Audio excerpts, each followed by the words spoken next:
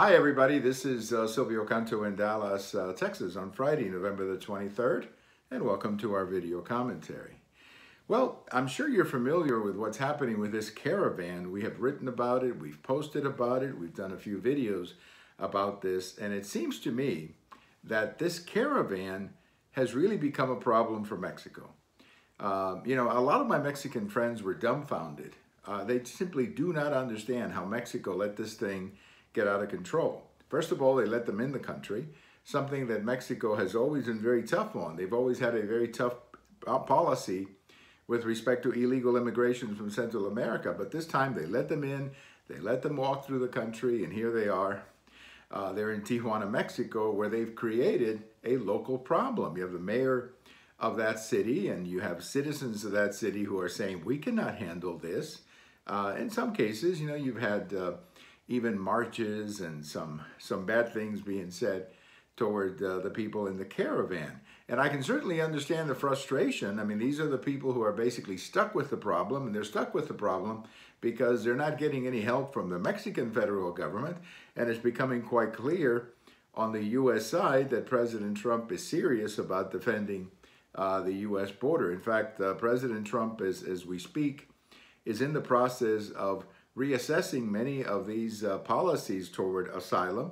And one of the things they're going to try to do is what they call remain in Mexico, meaning you can apply, you can, you know, see an American judge, but you're going to stay in Mexico while we process your case. And of course, there's a reason for this, and it's because, you know, once people come in and they're processed on the border, then they disappear and they never show up for for the for the court date which is usually a year, a year and a half, year and a half later. So I think President Trump is saying, no, we're not going to tolerate that. But again, going back to Mexico, it really puzzles me as to why Mexico has allowed this thing to get out of control.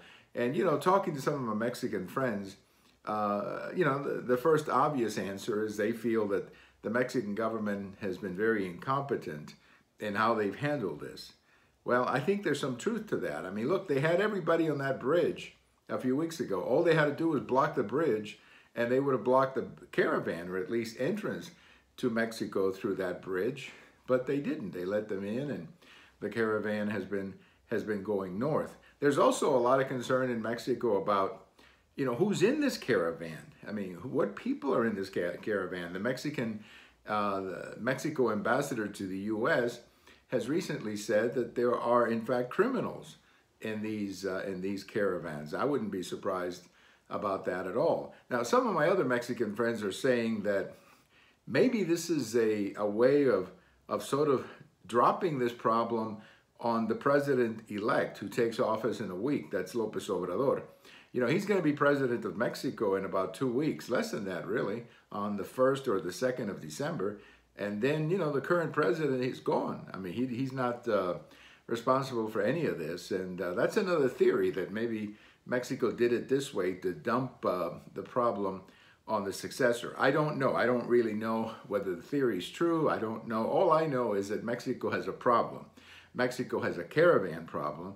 And I think that, you know, if there's any lesson from any of this is for Mexico to understand that if you let people in to go to the United States, all you're going to do is have more people in who will want to go in to go to the United States. So maybe this is a good lesson for Mexico that, uh, you know, this kind of caravan and this kind of illegal and chaotic uh, movement of people is not, uh, is not a good thing. Maybe they should listen to what former Secretary Clinton, uh, Hillary Clinton, said a few days ago when she was talking about Europe and she said that Europe has to resolve the immigration issue. You can only be nice after a while, but at some point in time, if you allow all these people in, you're going to create domestic problems. And I certainly think we're seeing that uh, in Europe. So that was a good comment by Secretary Clinton.